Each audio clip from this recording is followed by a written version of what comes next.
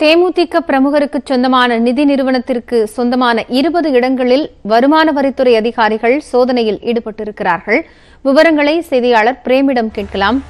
Frame இப்போ எந்தெந்த பகுதிகளெல்லாம் இந்த சோதனை நடைபெற்று வருகிறது? காரணம் என்ன? காயத்ரி தற்போது கடலூர் மாவட்டத்தில் பிரபல தொழிலதிபருமான ஜெயப்பிரியா தனியார் நிதி நிறுவன உரிமையாளருமான ஜெயசங்கர் என்பவருடன் குழுமத்திலும் தற்போது வருமான வரித்துறை அதிரடியாக சோதனை என்பது நடைபெற்று வருகிறது. குறிப்பாக கடலூர் மாவட்டம் மட்டுமன்றி தமிழ்நாடு முழுவதும் ஜெயப்பிரியா சிட்பண்ட் நிறுவனத்திற்கு சுமார் ஐம்பதுக்கும் மேற்பட்ட கிளைகள் உள்ளது. தற்போது கடலூர் மாவட்டத்தில் மட்டும் இருபதுக்கும் மேற்பட்ட சிட்பண்ட் கிளைகள் மட்டும் இருபதுக்கும் மேற்பட்டு உள்ளது.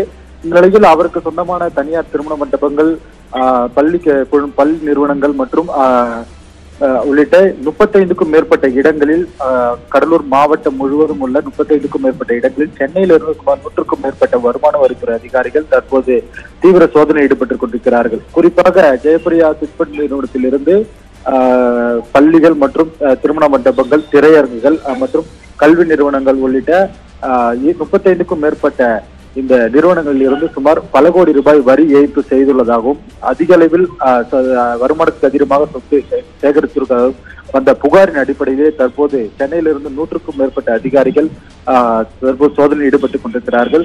பிரபல கடலூர் நகரத்தில் உள்ள சிட்பண்ட் நிறுவனத்திலும் தற்போது பத்துக்கும் மேற்பட்ட அதிகாரிகள் தீவிர சோதனை ஈடுபட்டு வரும் நிலையில் இதேபோல் கடலூர் திட்டக்குடி வேப்பூர் விருதாச்சலம் நெய்வேலி உள்ளிட்ட பல பகுதிகளில் தற்போது நூற்றுக்கும் மேற்பட்ட அதிகாரிகள் தீவிர சோதனை ஈடுபட்டுக் கொண்டிருக்கிறார்கள் வரி ஏய்ப்பு செய்யப்பட்ட தகவல் அடிப்படையிலேயே இந்த சோதனையானது நடைபெற்றுக் கொண்டிருக்கிற நிலையில் சுமார் முன்னூறுக்கும் மேற்பட்ட ஊழியர்களிடமும் விசாரணையானது மேற்கொள்ளப்படுகிறது.